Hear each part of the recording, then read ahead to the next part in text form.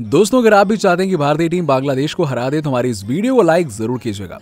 दोस्तों, चौथे दिन भी नहीं जीता भारत तो भड़क गए भारतीय दिग्गज। जी हाँ दोस्तों, चौथे दिन भारतीय टीम को जीत न मिल पाने पर भारतीय दिग्गज भड़क गए और भारतीय दिग्गजों ने भारतीय टीम पर अपना गुस्सा निकालते हुए भारतीय टीम को जमकर खरी खोटी सुनाई है।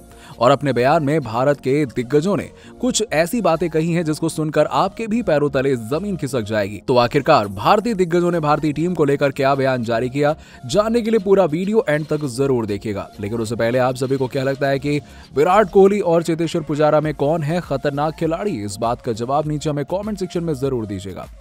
दोस्तों, चौथे दिन का खेल खत्म हो चुका है और बांग्लादेश ने 513 रन के लक्ष्य का पीछा करते हुए छह विकेट खोकर दो रन बना दिए हैं। और ये मैच जीतने के लिए बांग्लादेश को 241 रनों की ज़रूरत है। वहीं टीम इंडिया को चार विकेट लेने हैं और बांग्लादेश के कप्तान शाकिब अल हसन 40 और मेहदी हसन मिराज नौ रन बनाकर खेल रहे हैं। ये बांग्लादेश की आखिरी जोड़ी है जो बांग्लादेश को आगे ले जा सकती है, बल्लेबाजी कर सकती है। इसके बाद गेंदबाजों का आना बाकी है। अब ऐसे में बांग्लादेश के जीतने की उम्मीद काफ़ी कम है। वहीं भारत को जीत के लिए इस जोड़ी को तोड़ना काफ़ी ज़्यादा ज़रूरी है और इसके बाद टीम इंडिया आसानी से मैच अपने नाम कर सकती है। और आज के दिन भारत के लिए अक्षर पटेल ने तीन विकेट लिए हैं और वहीं उमेश यादव, रविचंद्रन अश्विन और कुलदीप यादव को एक एक विकेट मिला। बांग्लादेश के लिए जाकिर हसन ने शतक लगाया, नजमुल हसन ने सत्सठ रन की बेहतरीन पारी खेली और भारतीय टीम चौथे दिन तो जीत दर्ज नहीं कर पाई।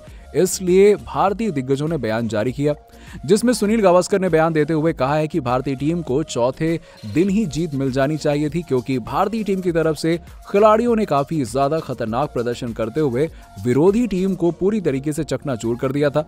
परंतु भारतीय टीम ने ज़्यादा बेहतर प्रदर्शन नहीं किया। इसके अलावा उन्होंने आगे बयान देते हुए कहा है कि अगर भारतीय टीम शुरुआती एक विकेट जल्दी निकाल लेती तो आज के दिन ही फैसला आ जाता और भारतीय टीम की जीत दर्ज हो जाती।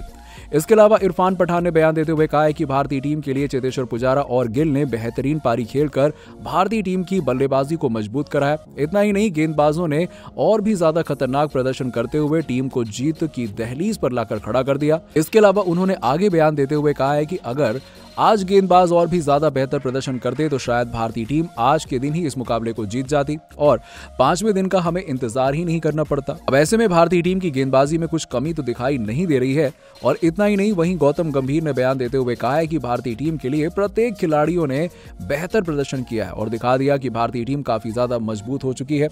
लेकिन भारतीय टीम अगर चौथे दिन जीतने में असमर्थ रही है तो भारतीय टीम में कुछ तो कमियाँ हैं। इसके अलावा उन्होंने आगे बयान देते हुए कहा है कि भारतीय टीम को इन कमी को मजबूती में ट्रांसफ़र करना चाहिए क्योंकि गेंदबाजों का बेहतर प्रदर्शन भारतीय टीम को मिल पा रहा है। लेकिन भारतीय गेंदबाज और भी ज़्यादा खतरनाक तरीके से गेंदबाजी करेंगे तो भारतीय टीम को जल्द से जल्द जीत मिल सकती है।